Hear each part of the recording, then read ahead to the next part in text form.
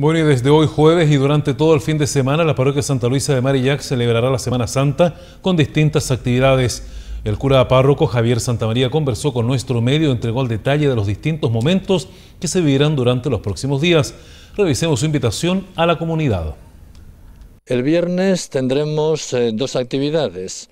Eh, por un lado, aquí en la parroquia, eh, solo en la parroquia, eh, no en las capillas.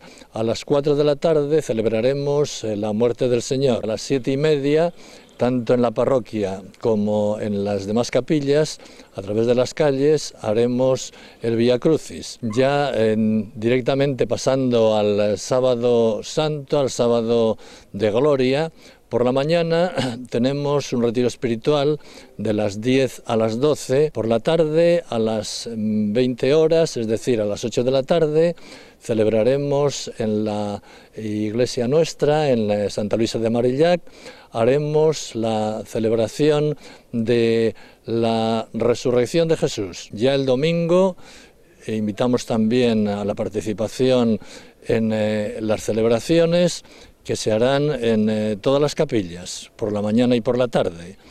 La mayor parte de ellas, excepto la, la 30 de marzo que tiene a las 11, las tienen a las horas señaladas. La medalla milagrosa la tendrá a las 6 de la tarde. Invitamos, por tanto, a participar tanto en la celebración de el sábado por la noche como el domingo a la celebración de esta resurrección de Jesús.